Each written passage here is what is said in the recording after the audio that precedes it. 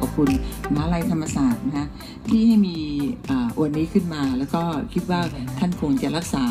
ตรงนี้เอาไว้ตลอดไปนะคะ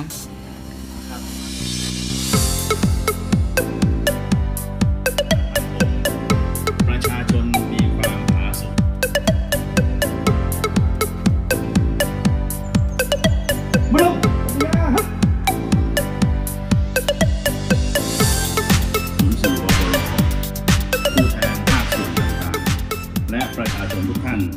งานครัมเราทำความดีด้วยหัวใจ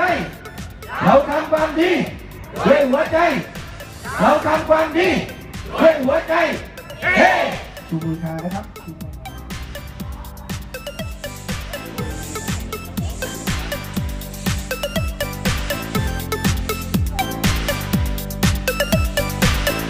สี่